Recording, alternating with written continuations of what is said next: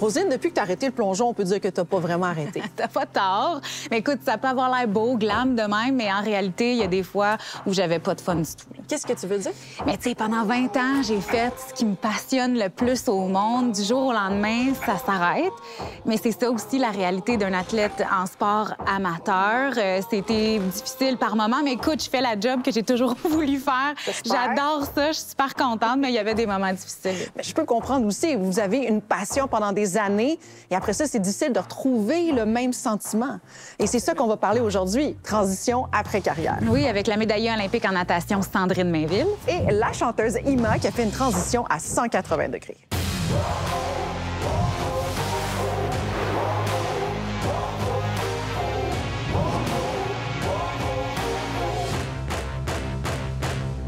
Les filles, bienvenue à Sportif Point Final. Merci. On parle aujourd'hui de transition après carrière. Euh, je pense que vous en avez beaucoup à dire là-dessus. Mais oui, Sandrine Mainville, tu as passé plusieurs années sur euh, les bords de piscine. En natation, tu as remporté une médaille aux Jeux olympiques de Rio. Et maintenant, tu es avocate en droit de travail chez BLG. Alors, euh, toute une transition pour Ouais. toi. Bienvenue, maître. Bienvenue, maître Mainville. Et Ima, quand même 20 ans de carrière euh, comme chanteuse, 9 albums, plus de 300 000 albums vendus. Félicitations. Non, quand même. euh, je pense qu'on on te connaît euh, pas mal euh, tous et toutes. Et tu as fait quand même une, une transition. Pendant la pandémie, tu es devenue professeur de yoga. Oui, de Hatha Vinyasa. Ça faisait longtemps que, que j'en faisais, là, que je pratiquais le yoga. Puis la radio aussi qui est arrivée en oui, même temps. Rythme donc- FM. Ouais. Ah, donc, euh, la, la communication, Oui. on voit que c'est arrivé vite. Et, et justement, on va parler de début. Quand est-ce que c'est arrivé dans vos vies? Vous, vous saviez là, ce que vous vouliez faire dans la vie. Là, Vous disiez, ah, c'est ça, je veux faire dans la vie. Vas-y, Sandrine. Moi, honnêtement, ça s'est vraiment fait euh, à travers les années. Et je pense pas qu'il y ait eu un moment où je me suis dit, euh, je veux être avocate dans la vie. Euh, tu sais, j'étais nageuse, puis à ce moment-là, c'était la natation qui C'est était- arrivé quand, la natation, dans ta vie? J'ai commencé à m'entraîner à faire de la compétition plus vers l'âge de 11 ans, ce qui est relativement tard pour un nageur de haut niveau. Tu sais, d'habitude, il commence plus vers 5-6 ans à faire de la compétition. Donc, j'ai commencé à 11 ans. Puis, euh, le- rêve olympique euh, s'est produit, je pense que j'avais 16 ans. C'était aux Essais olympiques en 2008 euh, qui avait lieu à Montréal. Et puis, euh, là, c'est vraiment le fait de participer à cette compétition-là et de voir euh, les nageurs se sélectionner pour les, les- les Jeux olympiques. Moi, je les regardais, puis j'avais des étoiles dans les yeux. Je me suis dit, un jour, ça va être moi. Et euh, à, à partir de ce moment-là, j'ai tout fait là, ce que je pouvais faire pour atteindre mon rêve, dans le fond. Ima, ta passion pour la musique vient d'où? De toujours. Mm. C'est. J'étais toute petite, puis je chantais. Je regarde mon gars, puis il est tout le temps en train de chanter. je suis comme, ah, on dirait que c'est, c'est inné un peu, ce- ces dons-là. Euh, c'est devenu très clair. Je voulais être comédienne et chanteuse, donc j'ai étudié là-dedans plus jeune. Puis euh, c'est la musique qui est venue plus me chercher. Et, euh, mais tout le côté communicatrice, ça a toujours été là. Quand tu penses à ta carrière de chanson, c'est quand les, les meilleurs moments pour toi? Là? Quand est-ce que tu t'es sentie... Ah, Il y en a eu tellement. Ah oui? Mais y en Ouais. a-tu un en particulier? Ben, je me rappelle quand j'avais fait le jazz en 2011 euh, sur la grande scène devant des centaines de milliers de personnes. là. C'est vraiment, vraiment cool, ça. Euh, J'ai eu une belle carrière en Turquie aussi, donc d'aller faire des shows là-bas. En Turquie? Oui, très inusité. J'ai pas eu un chemin comme tout le monde nécessairement. J'ai connu cette époque-là, tu sais, puis c'était à la fin. Parce que maintenant, euh, tu vends 2000 albums, puis c'est gros, là. Ouais. Tu sais, parce que le streaming a pris de plus en plus de place, puis la, la musique s'est transformée très rapidement dans les dernières années. Puis avec la pandémie, ça a été vraiment euh, fulgurant.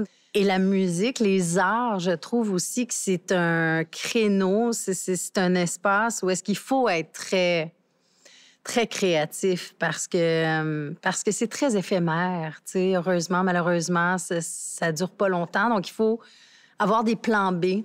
Moi, mes parents me le disaient quand j'étais petite, c'est quoi ton plan B? Puis j'étais comme j'en ai pas, j'en ai pas besoin. Puis là, ben là, maintenant, t'as un enfant, puis là, tu fais comme ouais, ça serait peut-être pratique d'avoir un plan B.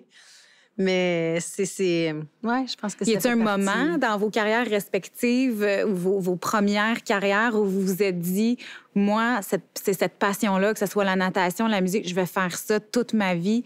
Je veux pas réfléchir à un plan B. Je vais consacrer tous mes efforts pour ça concrètement, parce que même si on le sait là, derrière notre tête qu'il y a peut-être quelque chose d'autre qu'il faut penser, mais qu'on aime tellement ça qu'on prend tous les moyens pour y arriver, puis on, on- on finit par y croire un peu qu'on va faire ça toute notre vie, non? Ben moi, c'est justement pas ça parce que le fait de faire un sport amateur, tu le Ouais. sais que tu feras pas ça toute ta vie. Donc, moi, ça a tout le temps été important de préparer mon après-carrière, d'avoir un plan B. J'ai pris une pause en 2012 et en 2016 pour m'entraîner, puis sinon, j'étais tout le temps à l'école. Euh, même mes meilleures années, c'était quand j'allais à l'école en même temps, tu sais, parce que j'avais justement pas toutes mes yeux dans le même panier. Fait que ça m'a aidé beaucoup dans, dans ma préparation, autant euh, sportive que, ben justement, pour préparer mon après-carrière, parce que ben, quand est venu le temps de dire adieu à la natation, au sport de haut niveau, je savais qu'il y avait quelque chose qui m'attendait après. De la façon que je voyais, que je voyais ça, ça m'amène tellement de nouveaux défis. Tu sais, j'avais l'impression que j'avais tout fait les défis ou les objectifs que je voulais faire avant. C'était quoi mais- tes objectifs d'avant? C'était quoi tes rêves euh, comme athlète? Ben, de faire les jeux, je sais que ça peut paraître cliché, là, mais euh, c'était de faire les jeux. Mais tu sais, justement, comme je le disais, c'était pas tout le temps de faire les jeux. Tu sais, avant, c'était juste de, honnêtement, juste avoir du plaisir dans ce que je fais, puis, euh, tu sais, me faire des amis, d'avoir juste comme un autre univers que juste aller à l'école comme un peu euh, n'importe quel T'as euh, dépassé enfant. personnellement aussi. Là. Pardon? T'as dépassé Ouais, c'est ça. dans, un, dans un domaine particulier. puis au début, tu sais, quand t'es jeune, je pense que tu t'en rends pas nécessairement compte à quel point, tu sais, le sport peut t'amener beaucoup euh, au niveau personnel. Tu sais, quand j'ai commencé, je me posais pas vraiment beaucoup de questions, puis à la limite, je me faisais un petit peu pousser par mes parents là au début parce que je pensais que c'était pas tant important, puis euh, je voulais juste avoir du fun. Et... Mais c'est drôle parce que, euh, les deux, j'aimerais ça vous, entendre là-dessus. Euh, Toi, tu disais que d'avoir déjà pensé à ton après-carrière pendant ton sport, est-ce que tu crois parce que je connais plusieurs athlètes qui, eux, là, c'était le sport, puis ils n'ont pas été à l'école. Puis, est-ce que tu penses que ça, ça va t'aider pour ton après-carrière de déjà avoir un plan B? C'est clair. C'est clair parce que moi, sinon, je pense que ça m'aurait fait peur. Même si je suis quelqu'un qui vit beaucoup dans le moment présent. Euh, tu sais, si j'avais été aux Olympiques en 2016, j'aurais peut-être pas dans le moment, dans la course, euh, la journée même, mais ça m'aurait quand même suivi, je pense, dans ma préparation, euh, de me dire, juste par exemple, si je fais pas les Olympiques, parce que la natation, les essais olympiques, c'est une journée, c'est une course, tu le fais ou tu le fais pas. Le stress que j'aurais eu additionnel, si j'avais pas eu de plan B, ça m'aurait, je pense, euh, Le niveau de stress est vraiment plus élevé quand t'as pas d'autre chose Exactement. dans la vie. alors que là, je me disais, ben, tu sais, si ça marche pas, au moins, j'aurais, tu sais, fait ce que j'avais à faire en natation, mais il y a quelque chose qui m'attend après. Qu'est-ce que tu en penses, Simon? Parce que est-ce que tu penses, est-ce que tu as des regrets par rapport à ça? tu sais? Non. Mais je pense que c'est la différence peut-être avec euh, les, les, les, les artistes, mettons, puis les, les athlètes, tu sais, des... Le sport, c'est tellement des... des...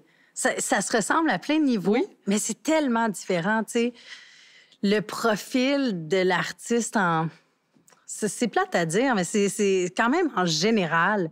Il y a un côté très... euh, très bohème. Tu sais, c'est- il y a peu d'artistes qui vont être capables de se représenter eux-mêmes. Donc, quand tu es plus artiste, tu penses pas à, à après habituellement. Tu penses, tu es vraiment dans le maintenant, tu es dans la création. Tu penses à ton prochain show, ton prochain album, la prochaine création que tu vas faire, mais tu pas dans Ouais, mais d'un coup que ça marche pas.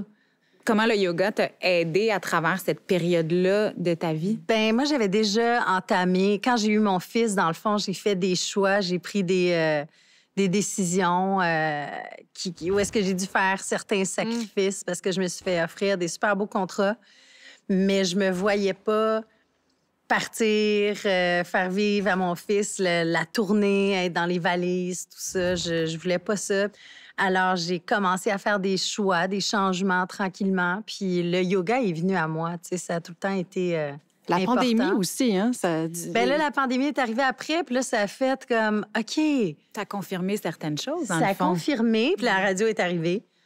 Puis là, j'ai Ça aussi, décidé c'était de... un désir que tu avais Ben oui. d'aller à la radio, de Ouais. con- continuer cette communication-là, Oui. mais d'un L'animation, ouais, Ouais. c'est vraiment le fun, ce, ce côté-là. Puis pour le moment, ben, il n'y a pas trop de pression. Il y a la musique encore. Dans vos carrières respectives, il y a eu beaucoup de moments intenses d'adrénaline. Quand on fait ce, ou on décide de changer tout ça, comment vous, vous avez fait ce deuil-là d'une adrénaline d'être sur scène, à performer devant des milliers de personnes, Ça, ça de beaucoup. nager en compétition, d'essayer d'être la meilleure au Ça, monde à chaque fois? Comment on fait ce deuil de cette adrénaline-là? J'allais dire, moi, il jamais. Gérer, hein? Ah ouais, hein? Ouais. Toi, Roselyne, est-ce qu'il est encore là? Il est encore là. Ah Moi, j'ai oui? bien de la misère avec ça. C'est Encore. tough. Ouais. Moi, j'ai fait le deuil de me lever à 4h30 du matin puis de sauter dans l'eau à 6 h. Tu vois, moi, mais... ça, c'est le contraire dans ma vie. je faisais pas ça, puis là, je...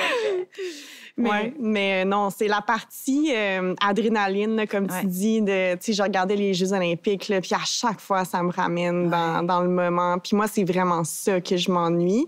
Puis j'ai réalisé que je pense pas, même si je vais retrouver des éléments d'adrénaline dans, dans ma carrière, je pense pas que je vais retrouver cette expérience-là. En fait, je suis certaine que je ne retrouverai pas cette expérience-là de la Ça même façon. dans le même sens, je suis Ouais. désolée, mais oui.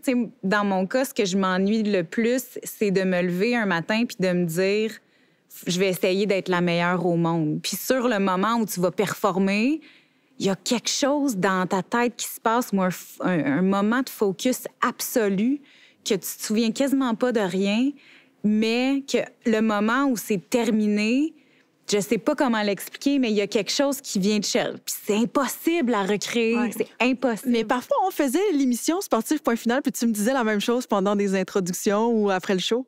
Hein? Un petit peu, un petit peu. Tu disais, Hey, je me souviens plus de. Mais oui, mais ça m'arrive souvent quand je dois être concentrée ou il y a quelque chose qui me rend un peu nerveuse. J'ai la même réaction que quand je plongeais. Je me souviens plus de rien après. Ah. Mes remises de médailles aux Olympiques, je m'en souviens quasiment pas parce que c'était tellement fort comme moment Mhm. que ça, je sais pas Tu pour pas toi, mais ça passer. va tellement vite. T'avais une Ouais. bénévole qui te court après, puis dit podium, podium, ah ouais, tout de suite. Puis j'étais là. Puis là, ça va vite, c'est fini. Je ensuite- vivre mon moment? c'est ça. Puis comment c'est ce deuil-là de la scène, d'être euh, idolâtré? Ça doit ressembler. Mais oui, c'est euh, même encore, tu sais, je vois, je vais voir un show, puis je suis comme, puis là je pars à m'imaginer, quoi, ah, oui. je pourrais faire ça, puis je pourrais aller jouer, puis je me vois partir dans la création d'un show, dans la création de chan- chansons. C'est pas parti complètement. Mais ce qui est particulier et vraiment le fun en même temps, c'est que oui, tu as fait ce changement-là de carrière où tu mises maintenant sur l'accompagnement, le yoga, etc. Mais t'es pas la radio. Tu n'es pas obligé de mettre de côté cette, cette carrière-là de chanteuse non plus. C'est ça, Elle je peux co- chanter ça peut encore. coexister, oui, c'est Exact. ça.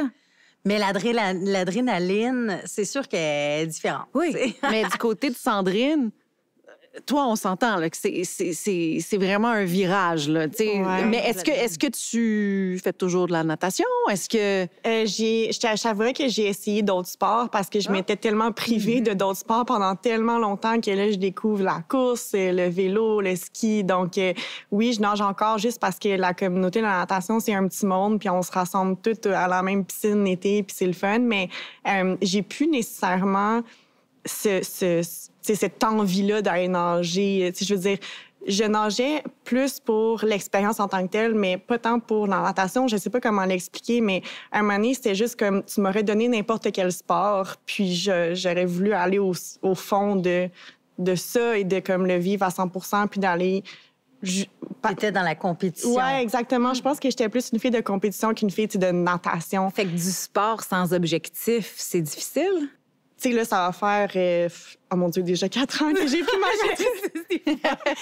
oh mon Dieu, ça va faire quatre ans que j'ai pris ma retraite. Pendant les premières années, euh, tu sais, mettons, là, en ce moment, je cours, je fais du vélo et tout, mais je j'ai pas participé à aucune course organisée parce que j'ai pas besoin de ça en ce moment. J'avais besoin d'un- d'une pause. Euh, je voulais juste comme le faire pour le plaisir parce que j'ai encore beaucoup... Tu sais, j'aime ça, m'entraîner, même si c'est pas pour un objectif. Mais, euh, tu sais, là, j'ai beaucoup d'amis autour de moi qui s'inscrivent à des marathons, des triathlons et tout. Puis là, ah, ça commence à à grandir en moi. Fait que là, d'ailleurs, je me suis inscrite à une, cour de, une course de 60 65 km.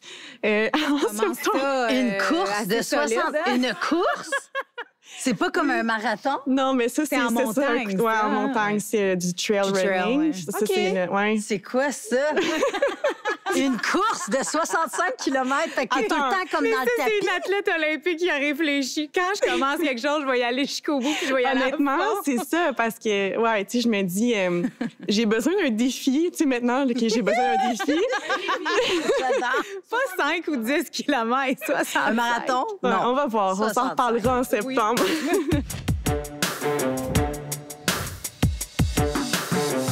Un bel exemple de transition de carrière réussie est celui de Joanie Rochette. Après avoir remporté la médaille de bronze aux Jeux olympiques de Vancouver en 2010 en patinage artistique, elle a décidé de prendre sa retraite et de retourner aux études en médecine. Et après plusieurs années de travail, elle est maintenant aujourd'hui anesthésiste. Selon moi, une des meilleures façons de s'inspirer quand on est dans une transition d'après-carrière, c'est d'avoir des modèles. Et je crois que j'ai deux collègues qui sont des sources d'inspiration. Je veux commencer avec Jacinthe Taillon, médaillée en nage synchronisé et qui a été chef d'antenne pour les Jeux de Tokyo et de Pékin.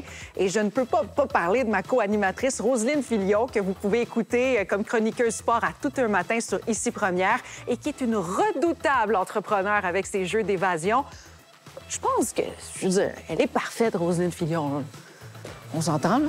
Mais Sandrine, quand est-ce que le déclic se fait? OK, je prends ma retraite. C'est- quand? C'est drôle, hein, parce que ça, j'ai vraiment un moment spécifique. J'étais dans l'ascenseur de mon bureau, euh, puis je suis sortie de l'ascenseur, j'ai pris mon téléphone, j'ai appelé mon coach de ce moment-là parce que ça faisait à ce moment-là deux semaines que j'avais commencé à travailler euh, comme euh, avocate, mais à ce moment-là, j'étais étudiante. Puis euh, le bureau m'avait permis, en tout cas, il m'avait dit si tu veux continuer à t'entraîner en même temps, tu peux le faire, on va te supporter à 100 Donc, c'est une des raisons pour laquelle je suis allée là aussi parce que, tu sais, il m'appuyait dans. Tu sais, il me forçait pas à arrêter de nager, ce que je trouvais super important. Euh, puis, j'ai commencé deux semaines plus tard. J'ai réalisé que je voulais vraiment m'embarquer dans ma nouvelle carrière à 100% et de pas, tu sais, avoir un pied dans chaque... Alors que, justement, c'est ça que j'avais fait pendant tant d'années. Tu sais, quand j'allais à l'école et je m'entraînais, j'étais J'étais à 100 à, à la natation, mais j'étais à 50% tout le temps à l'école. Puis j'avais jamais eu comme une gang d'amis qui me suivaient à l'université parce que justement, j'ai fait mon université à temps partiel, etc. Donc, c'est vraiment important pour moi de commencer ma carrière du bon pied à 100% le vivre à fond.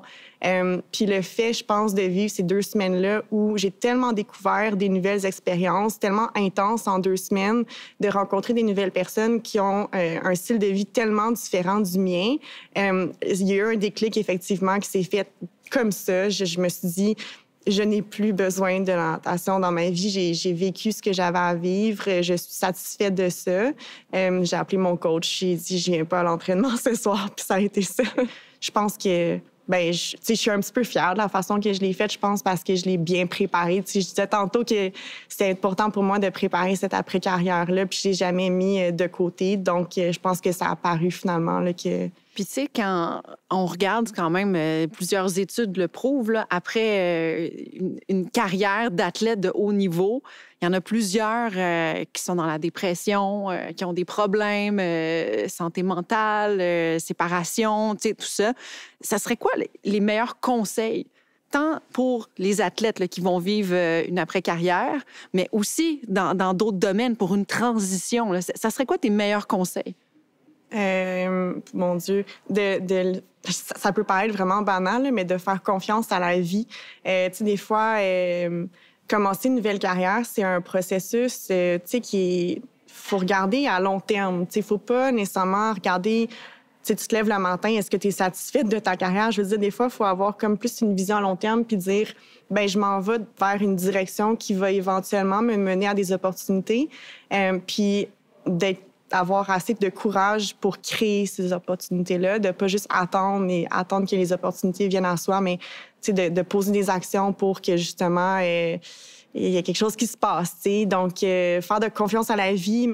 Ben, se faire confiance puis être ouvert, tu sais, de parce qu'on on a le droit d'aimer plein de choses, on a le droit de d'avoir plein de passions, puis tu sais, on entend de plus en plus ah la comédienne est devenue réalisatrice, ah, elle a écrit son son premier euh, scénario, euh, une chanteuse qui va devenir comédienne, qui va devenir animatrice, ou on entend de plus en plus. C'est, c'est- on a le droit d'avoir plusieurs carrières, puis d'avoir de, de changer d'idée. Mais est-ce que vous avez déjà eu des doutes à ce changement de carrière-là, à cette décision-là? Ah, moi, je doutais tout, tout le temps, tout le temps. Ça fait partie, j'ai comme accepté que ça faisait partie du processus de création, le doute, la petite voix là, saboteuse Mhm. qui est tout le temps en train de, de te dire, euh, tu sais, c'est peut-être euh, peut-être que non, peut-être que si. Puis là, à chaque fois, c'est comme, ah, tasse-toi. Mais Puis là, moi, je vois, vas, je vois le doute aussi d'une autre façon, dans le sens où, dans une carrière d'athlète où j'ai performé, j'ai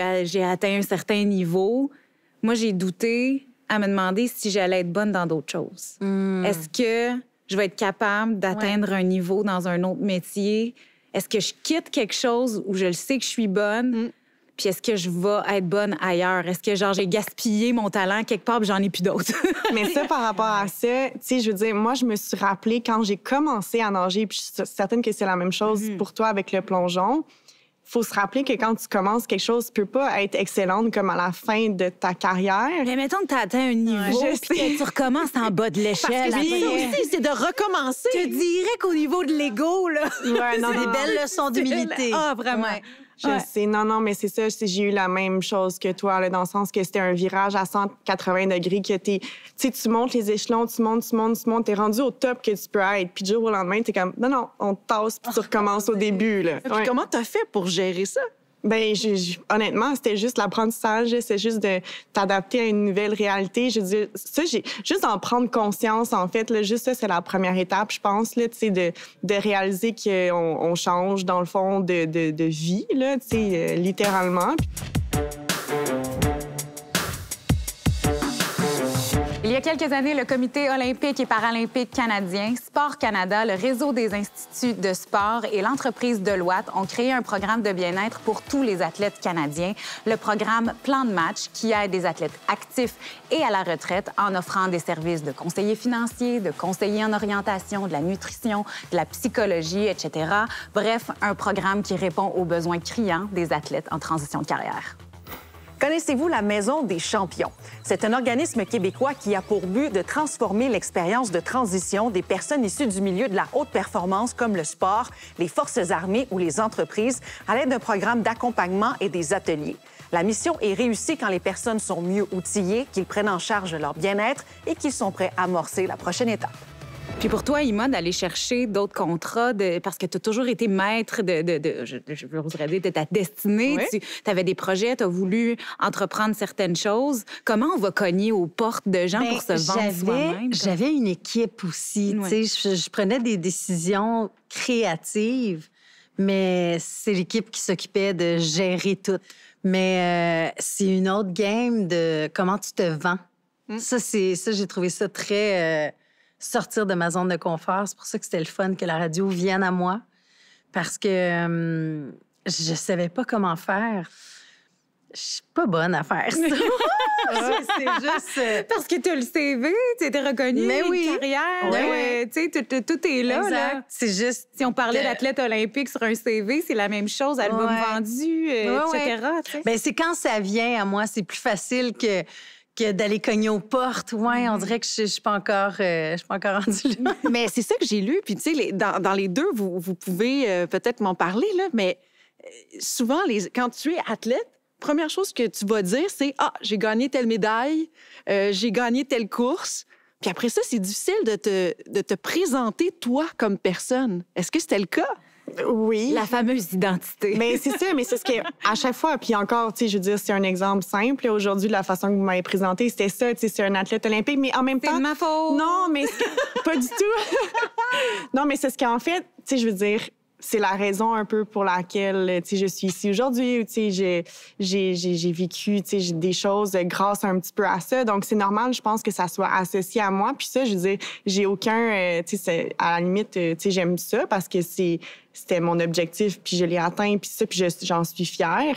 Mais après ça, c'est vrai de comment tu fais pour te détacher de ça, puis de te décrire? Même toi, Ima, hein? Ben, t'es qui sans, sans ce que tu fais? Parce que moi, je, je- pendant longtemps, euh, je me suis identifiée à, à la chanteuse. Puis, à un moment donné, euh, ben, dans, dans ma quête spirituelle, qui, qui est là depuis longtemps, c'est si- t'es qui si t'es pas chanteuse?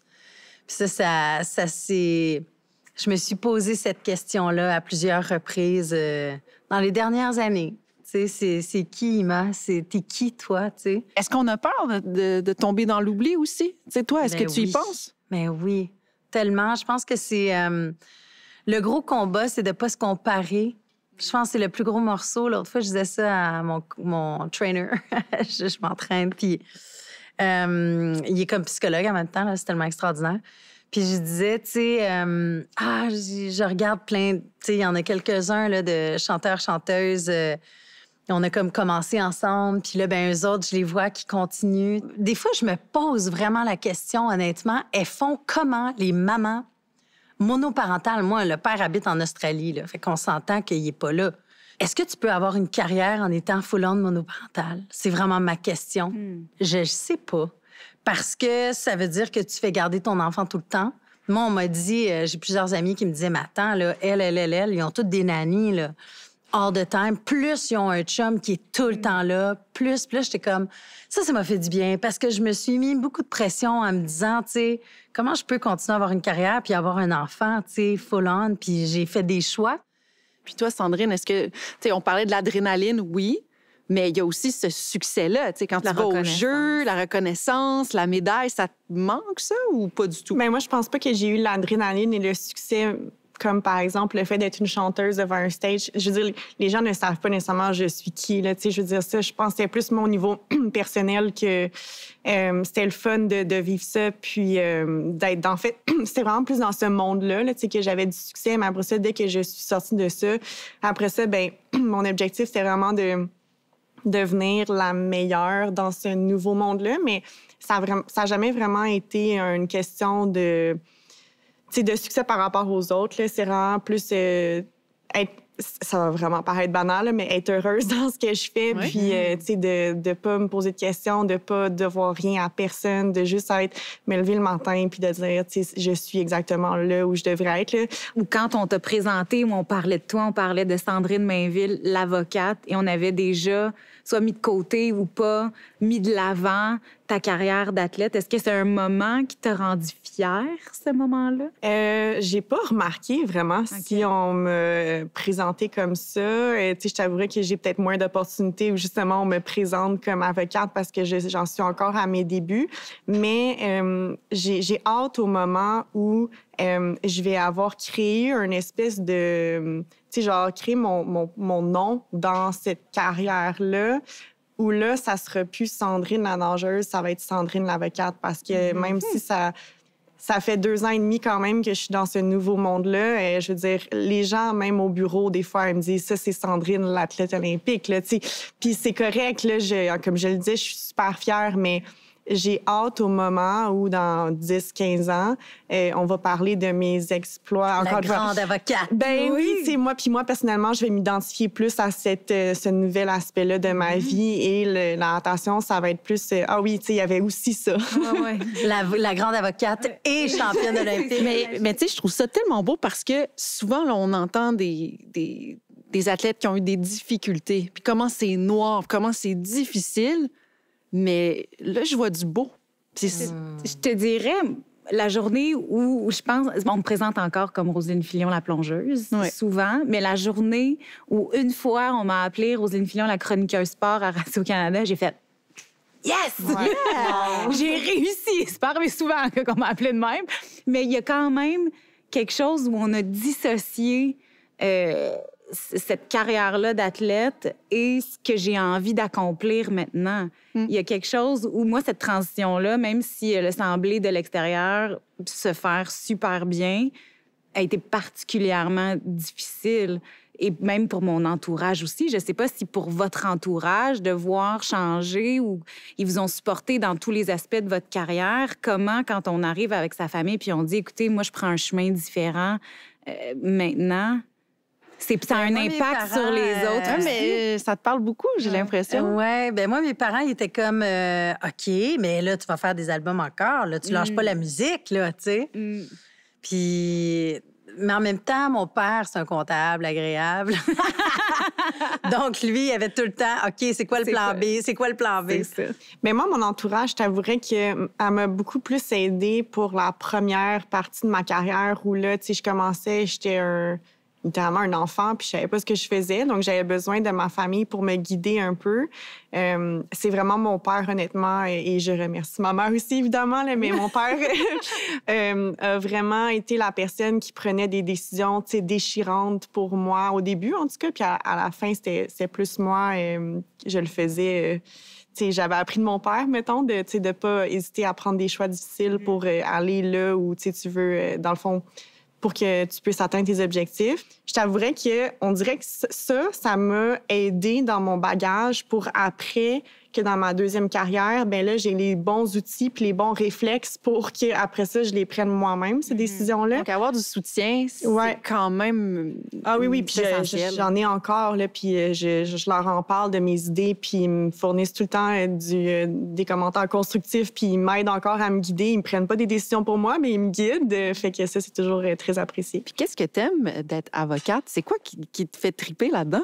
Euh, mon Dieu, beaucoup de choses. Par où commencer? Non, mais euh, j'aime juste l'aspect euh, de performance, puis tu sais, juste, je pense, si tu compares un procès à une compétition, tu sais, moi, c'est ça, je l'ai vécu. Est-ce que tu fais du pli, de la pli de Un petit peu, oui, oui? Ça fait partie de ma pratique. Donc, j'ai vécu mon premier procès en décembre passé, puis je me suis encore, je suis arrivée dans le taxi après, là, puis j'ai eu presque le même sentiment qu'après une compétition. Ah ouais. puis euh, tu sais, c'était ma première fois. Puis euh, tu sais, l'espèce de sentiment d'imposteur que tu ressens avant, tu sais, un petit peu comme quand j'ai fait ma première compétition où je savais pas trop ce que je faisais. Mais après ça, tu le fais, puis tu te rends compte que ça a bien été, tu es fier de toi. Là, je l'ai comme senti pour la première fois. J'ai senti que j'étais à ma place. Hmm. Euh, en tout cas, donc ça, ça fait partie de un des aspects que j'aime de mon métier. J'aime ça parce que j'ai l'impression justement que, que, que j'aide dans le fond quelqu'un. Mais c'est drôle, hein, parce que j'ai l'impression que quand on est athlète, on pense beaucoup à soi, à toujours, là, à, nous. Puis là, ben, vous voulez aider les autres, même toi aussi. C'est un milieu très, je, je, vais le dire comme ça, égocentrique où tout est pensé par rapport à l'artiste, à l'athlète, etc. Faut que tout soit aligné pour que la performance soit top. Tu as une équipe autour de toi pour créer ton spectacle, que ce soit éclairage, euh, décor, euh, euh, tout, la préparation physique, mentale, etc. Donc, il, y a cette façon-là maintenant que même dans, dans, la transition de carrière, là, c'est tout le contraire. C'est que vous êtes à l'autre maintenant où vous pensez aux autres, vous travaillez pour les autres. C'est beau de voir ça. ouais. C'est vrai, c'est intéressant. Un namasté. Namasté. Merci.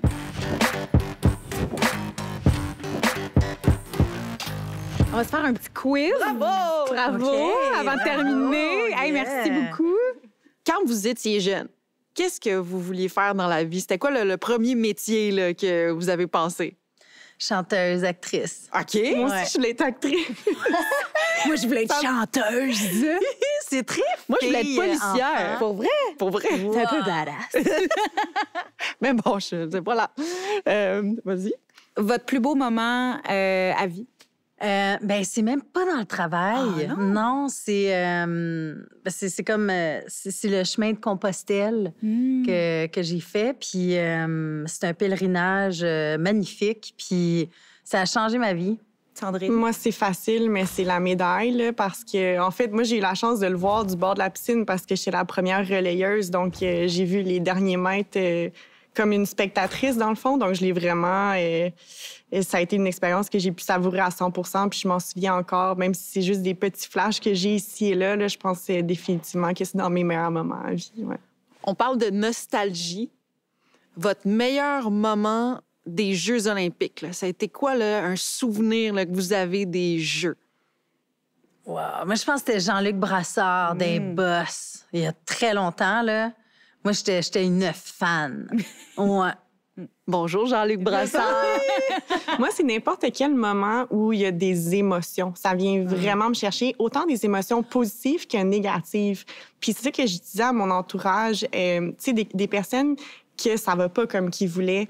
Ça, je, je trouve ça beau de la façon qu'ils le vivent après, les leçons qu'ils en tirent, les interviews qu'ils donnent après. Ils amènent tout le temps un aspect positif quand même à la chose. Puis je pense que les Jeux olympiques, c'est ça, c'est les émotions qui, qui ressortent de ça.